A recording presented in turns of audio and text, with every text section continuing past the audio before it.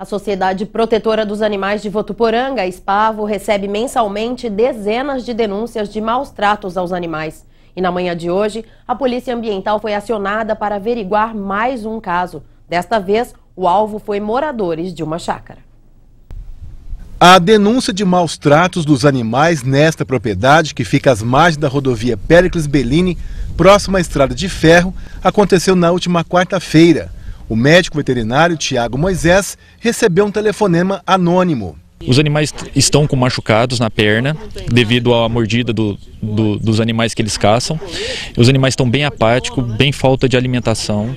Agora esses animais vão ser encaminhados para uma chácara onde uma mulher ela trata de animais e esses animais vão ser bem tratados para assim ser adotados. A Polícia Ambiental foi acionada pela Sociedade Protetora dos Animais de Votuporanga, a SPAVO.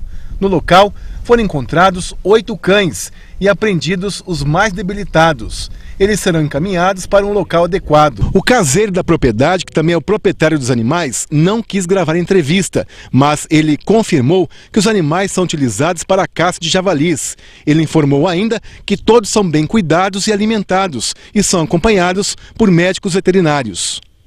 De acordo com o presidente da Espavo, esta é a terceira denúncia deste mês de maus tratos de animais em chácaras. Eu creio que existem muitos, muitos fatos como esses aí na cidade de Votuporanga, graças à colaboração das pessoas que conhecem os locais, tem, tem feito denúncias e a gente tem ido verificar e a gente tem várias parcerias aí que colaboram.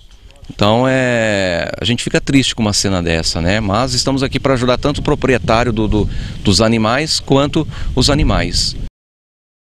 E a Polícia Ambiental não foi autorizada a dar entrevista para nossa equipe.